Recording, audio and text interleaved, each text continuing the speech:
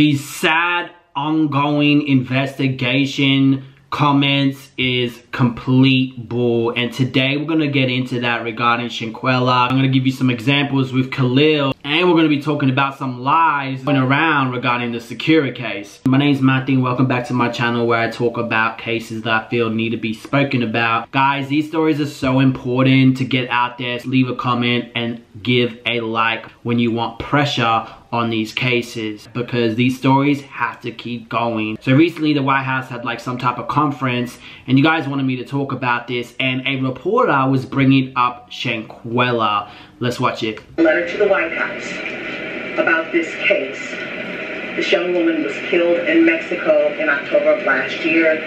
The suspect is in this country along with those back here, along with those who were present during the, the, the deadly beating, okay? He sent a letter asking for extradition of the suspect to Mexico, for the Mexican authorities to deal with, or if not, take jurisdiction of it here and deal with it. What's next? What's the White House willing to do? So let me just first say our hearts go out to uh, Miss Robinson's family um, and friends. It is devastating what occurred, uh, and certainly um, uh, the, the, tragedy is just devastating. And we've been following the news here, uh, but because uh, because there's an FBI investigation underway, there's very little that we can say. Uh, we got to, as you know, we are very careful about. Um, criminal investigations or any uh, investigations that are uh, currently happening uh, through DOJ in this particular case, FBI. But our hearts go out to. Um, what investigation? It's a extradition you feel me? The apparently, according to Mexico, we would like to have her extradited to Mexico and they and we have already submitted all the paperwork necessary.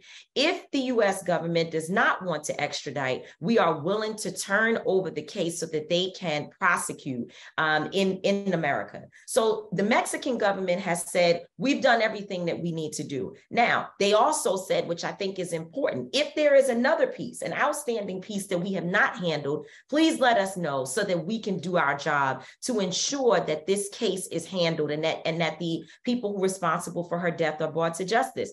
They have sent everything and they are now waiting for an extradition. Why would that be an ongoing investigation? It's not even, I don't even think it's America's job to do an investigation anymore. Everything is handling in Mexico. So what is it that they're investigating? Either maybe I'm wrong and I'm ignorant to the fact that maybe there's stuff that's going on, but from my understanding, it's an extradition process, that's it. What type of investigation needs to be happening? Simple, this is what we want, give it to us. So either there's something going on here, Mexico is lying, and maybe they need to do an investigation to see what's going on because of what Mexico has said, or these people are not being honest because nothing is happening. And they don't have no idea have to tell the sad truth. The sad truth that nothing is happening. But let's keep watching. Again, to, to the, families, families, and I would have, have to refer you to the DOJ, DOJ and the State Department, Department on this. I love this reporter. She's like, well, well, let me ask you this though. Yeah, push it in her. FBI investigation, does that mean nothing happens until the investigation is complete? Or, I mean, could, I mean, the United States has extradition, an extradition treaty with Mexico. Is it, is all of this contingent upon the FBI investigation? What I can say is there's an investigation going on. So She's just palming off the answer. Yeah, I ain't gonna answer that we all I'm going to say is that an ongoing investigation going on. This is something that the FBI has to speak to, so that's why I'm referring you to the Department of Justice, uh, and it's also an issue of the State Department again. So would refer you to the State Department as it relates uh, to another country and the diplomatic conversations that occur there. Uh, but uh, again, this is something that we're clearly following here, uh, and uh, our hearts go out to her family. Clearly following. Interesting. Last question on this though. Are there cases?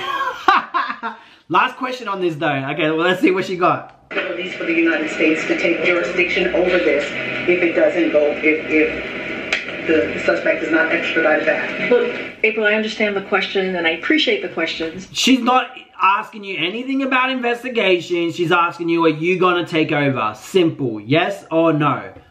All important questions to ask of me. But again, there's an ongoing investigation, so I would refer to the Department of Justice. Process, not necessarily the investigation. Yeah, give it to her. She's like, oh shit. I don't know. She got me here. Look at her face. She like, she got me.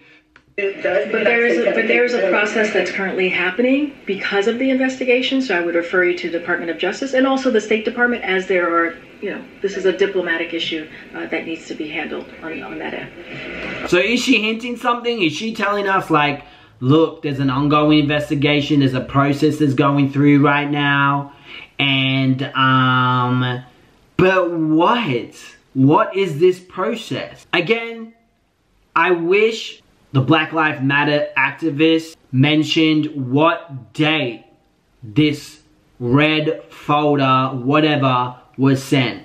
I feel if they were able to tell us and give us an exact date, we might be able to work out how long it's actually going to take for this extradition. But it doesn't make sense that it's an ongoing investigation. You got everything you need, just send her off. Apparently, they got everything they need. That's if Mexico is telling the whole truth. Because let's look at another example, Khalil Azad. Now, if you guys haven't seen that video, please go that, watch that video. I have everything explained, everything in detail. When the family wanted to see the cam footage, the officers made it difficult. Apparently, they said that it was an ongoing investigation then they told the family that they're gonna need an attorney. Now I'm not sure if the family end up getting an attorney, but down the line they end up having a, a protest.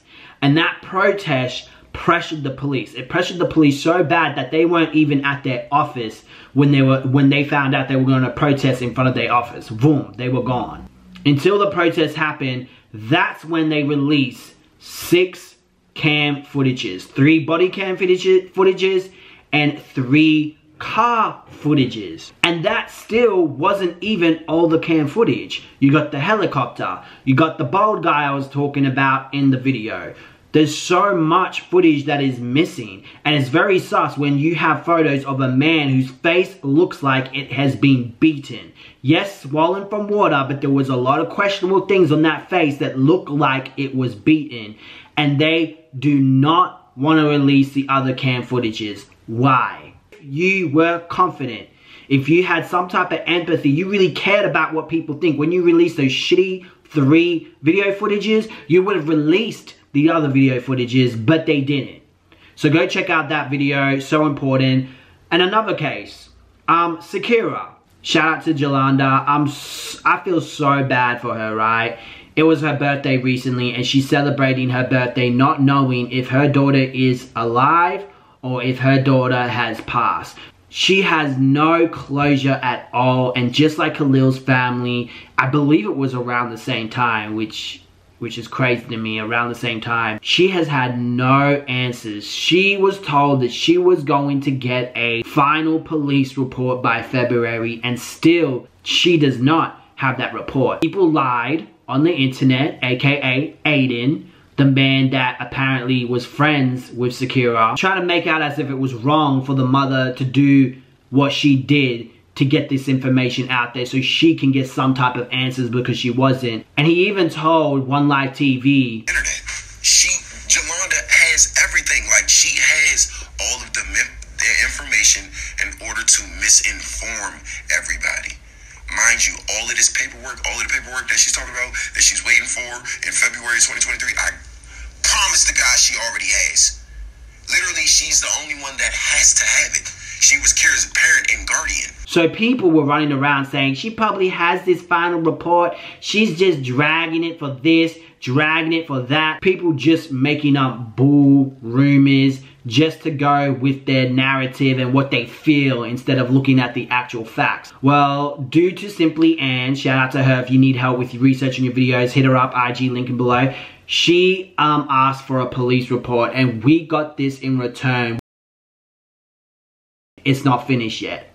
You have had all this time and still don't have answers. And Aiden, maybe you need to tell your friends to go talk to the police and help them out or something because clearly they're missing something. And I can't help but to feel this is just another excuse with the Shanquella situation. It's an ongoing investigation because we have no idea what the hell's going on.